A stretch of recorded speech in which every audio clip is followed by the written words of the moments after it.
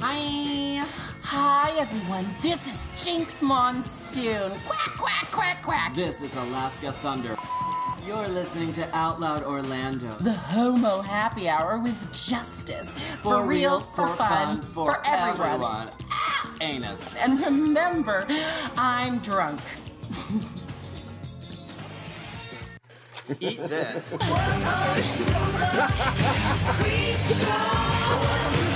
Out Loud Orlando, the Homo Happy Hour. Und gut Feuer. For real, for fun, for everyone, you're listening to Outloud Orlando, the Homo Happy Hour, the most unique radio show of its kind on 91.5 FM every Tuesday on WPRK, streaming online and archived at OutloudOrlando.com and uh, on your smartphone with the free TuneIn Radio. Back again at the White Party in Orlando, Florida, for the third year in a row, getting to interview the current season queens of RuPaul's Drag Race. And uh, I'm really lucky to have with me Alaska, Alaska, uh, God damn it, I fucked up like the very first part of the interview. very glad to have with me Alaska.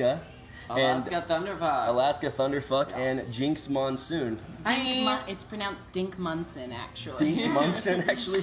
I had a question about the name, actually. Uh, I know you started doing drag at a young age, so Mm-hmm. did you really ever have a drag mother? Is there a house of monsoons out there? No, I'm kind of the first monsoon, but of course I'm named after Eddie Monsoon from Ab Fab, so it's not even like I created it or anything. Jennifer Saunders is the mother of my house.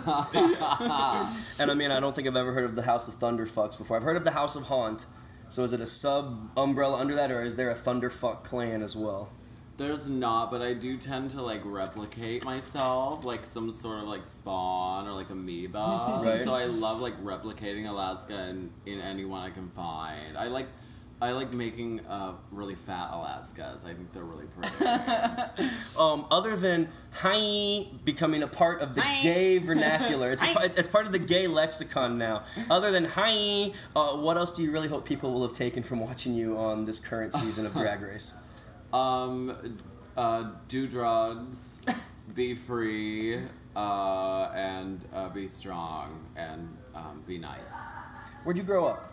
I grew up in Erie, Pennsylvania. So you're a Pennsylvania kid? Yeah, and that's where newscasters go to lose their accent. So we don't have any regional dialect. But I, for some reason, sound like this. And how would you qualify your accent? I have no idea. I think it comes from um, watching too much Bette Davis. Oh, okay. it's got kind of this like, it's got kind of like a California surfer lull to it. I think it kind of sounds a little bit 420 to me. yeah, all she's the a little time. perm And I don't even smoke weed anymore. I used to like every day. But you Maybe just it- blew a fuse way back when. She used to talk like this, and she was, like, I'm Alaska Thunderfuck. It's like when you make a face for too long and it oh. freezes, it just Yeah. sticks that way. You're like, hey, what's go- why is my voice this way? I haven't gotten high in weeks. It's like her vocal cords stepped in molasses. You know? And I love the affectation of your voice, Jinkx, just because when you turn it on, it is incredibly sweet and, and feminine. And is that, I don't know what you're talking about. Alaska likes to do me with a Minnesota accent, but don't you I don't know why. I just go there. um, I would like all the women in my family have kind of southern drawls, and um, I think I've picked up certain little things of the southern drawl, but um. The only difference between Jarek's voice and Jinkx's voice is that I just like I just kind of put it all up there, and then it starts getting a little like, oh, my god, Like, Oh, what's going on? Why are my legs pushed back? Oh. exactly. I didn't know I could get both my ankles behind my head. And then no part of the interview involved making out with the DJ. um, I know you talked about your grandmother helped encourage you get into drag. Your mother not so much. As it's become your career and being on television, uh, has there been any kind of evolution of, of your mother's looking at your art? Well, I should clarify that it wasn't that my mom was like. I just know what I've seen on the show, Yeah, so if yeah. I, I don't mean to misspeak Oh, and no, like no, no, no. qualify your life into you know Um, 44 of course minutes. not. No, uh, it's easy. my my mom wasn't like it wasn't like my mom was against me doing drag. I just kept it a secret from her because I wasn't ready to share that part with my mom and. My mom was really worried about my like personal safety in, in high school and stuff. Like being a, a high school age drag queen can be dangerous, you know. And Yeah. she grew up in the '80s when her cousin got beat up for the smallest kind of effeminate behavior, you know. So she she was really protective over me actually, and You know, only um, child? I'm the oldest of three, actually. Oldest of three? Yeah. So, but nowadays, you know, like my mom and I really, we love the fact that my whole career now is just me doing a cheap impression of her. Because Jinkx is pr- primarily based on my mom. Okay. Like the big blonde cougar MILF is just essentially like my mom with a little bit more Jennifer Coolidge added. And Okay. acid. Very nice. Good job. What about you? What about growing up and going to the high school? Did you start? What age did you start doing drag? Well, I always dress up in, in girls' clothes, and I used to get in trouble for like playing with Barbies when I was a kid, and like um, my mom told me like don't don't play as a girl. Don't read like, my notepad. You're not supposed to do that. No, I can't read your handwriting if I wanted to. What the fuck is that? I'm an attorney. It's you know how you keep secrets. Yeah, but no, I, I always dressed up like a girl, but I got in trouble for it. So like for a long time, I sort of like just went into my own like personal world. Okay. Like, I hid from the world for like years and years when I was a kid. And then it was like when I was in college, I was able to like experiment with that again, and then uh, like all that sort of came out. Where'd you go to school and what did you study? I went to the University of Pittsburgh and I studied theater arts. Uh-huh. Can we start an active campaign to get you on the most successful alumni list? What other successful Yeah, alumni I better. came from University of Pittsburgh? I mean, I don't make that much money, but I just think it'd be funny to walk through a college and see Alaska Thunderfuck on like I on a, on a plaque in the that. alumni That hall. would be so cool. Yeah, contact, email them. University of Pittsburgh. Yeah, please.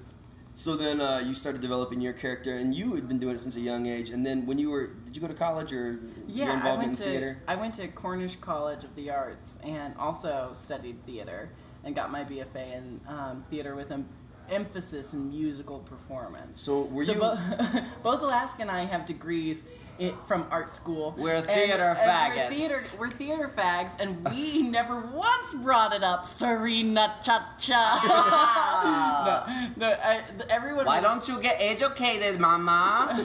Everyone was always teasing me about that because they're like, "Why didn't you ever once tell Serena Cha Cha you also went to art school?" And I was like, "Well, she was kind of she was telling the world enough." About And we couldn't get a word in edgewise and untucked. We couldn't. There was I no was, time. I was rewatching all the episodes in preparation of this interview because that's the only way I know how to do research. And so the episode where she's and trying to because do, you're a faggot. I'm not gay. That's just a rumor started by the guys I fuck. but uh, no, her impression of Raja, where she's trying to act, like it did. It turned into Japanese anime passing out after every. You know, she, she didn't understand how to move your lips to the words. Well, it was because we were all trying to turn, we were all trying to make characters out of these iconic drag queens. Like, take characters and make even more character out of them, you know? And she didn't really have much to go on with Raja because Raja's just kind of this, like, Very- somber, demure, right.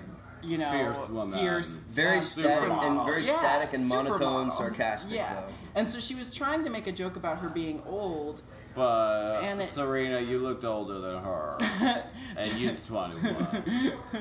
Which we heard plenty of times as well. So you came. I love in- you, Serena. Sorry. We both love. I mean, I actually I got along with Serena uh, great in the in the short time that I knew her. Yeah, I But it like her was- a lot. It was really hard to. There was so much energy when it, there were like 14 and then 13 of us. There was so much energy. You really, even the people you were getting along with, you barely knew. Right. So even though Yeah. I liked Serena Chacha a lot, I know nothing about her because it was like. Put There was- 14 obnoxious drag queen men in a room and just imagine. Just put that. 14 Just gay people imagine together that. in a room and you get And the then same five thing. cameras. It's like just putting imagine. 14 feral cats in a cage and then shaking that cage. And when it comes to theater, are you more on the stage, behind the scenes, show production? like what? Definitely what do you on do? The st- on the definitely stage? on the stage. You give me a script, a song, a shtick, anything like that. I'm just not very technically minded. Like I can't really do the small, minute details and the tedious like handiwork. I have to hire people for So that So give me some of your stuff. repertoire from the theater. You know, favorite plays, favorite numbers, favorite roles Um, that people might played know. Cosette. Uh, she was Anne Hathaway's understudy for uh, Les Mis. Um, well, recently I did. I played Angel in Rent in the Fifth Avenue Theater's production of Okay, Rent. oh, that's a good one. Um, I played Hedwig in Hedwig and the Angry Inch with Balagan Theater in, in Seattle.